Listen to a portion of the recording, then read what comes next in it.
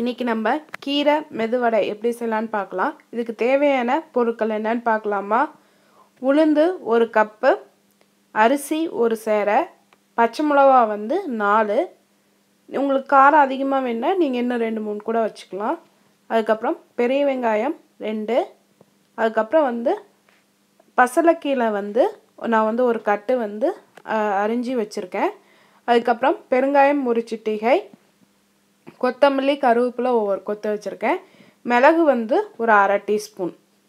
இவ்வளோதான் தேவையான பொருட்கள்.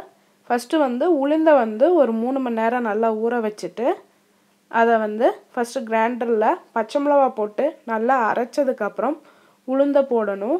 உளுந்து நல்லா மெசர மெசர ஸ்டேஜில் அந்த மிளகையும் பெருங்காயம் போட்டுக்கலாம். உப்பு நீங்கள் அப்பயே போட்டு அரைச்சிக்கிறதுனால அரைச்சிக்கலாம். அப்படி இல்லைன்னா ஆட்டி வலிச்சதுக்கப்புறம் அதில் உப்பு கூட போட்டுக்கலாம் நம்ம. இப்போ நான் அதில் உப்பு போட்டிருக்கேன். இப்போ வெங்காயத்தை வந்து இது இதுக்கிடையில் நீங்கள் வெங்காயத்தை வந்து நல்லா பொடியாக அரிஞ்சிக்கணும். கீரையும் நல்லா பொடியாக அரிஞ்சுக்குங்க.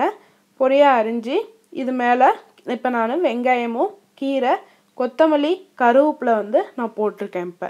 இதை வந்து மாவை வந்து நல்லா பிசைஞ்சிக்கணும். இது வந்து குழந்தைங்களுக்கு ரொம்ப ஹெல்த்தியான ஒரு டிஷ் இது. உளுந் உளுந்து ந நிறைய குழந்தைக்கு கொடுக்கணும்னு சொல்லுவாங்க.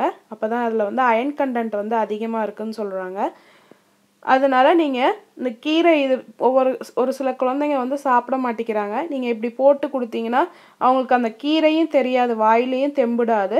அதனால் குழந்தைங்க நல்லா சாப்பிடுவாங்க. செஞ்சு கொடுங்க அதை இப்போ பாருங்கள் மாவை நல்லா நான் பிசைஞ்சிருக்கேன்.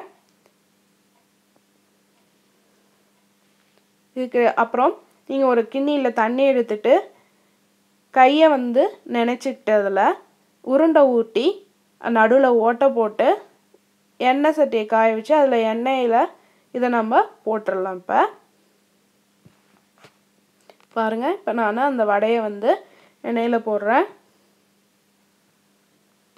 இதே மாதிரி நீங்கள் ஒவ்வொரு வடையாக வந்து செஞ்சு போடணும்.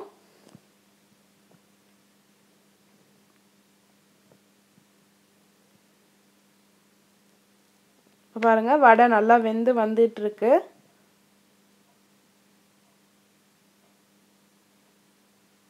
இது நீங்கள் இது பண்ணும்போது ஏன்னா மெதுவடை வந்து நீங்கள் வெளியில் கொஞ்சம் கருப்பான மாதிரி இருக்கும் ஆனால் உள்ளார வேவாத மாதிரி இருக்கும். அதில் நீங்கள் வந்து மீடியம் ஃப்ளேமில் வச்சு நீங்கள் செய்யணும் இதை.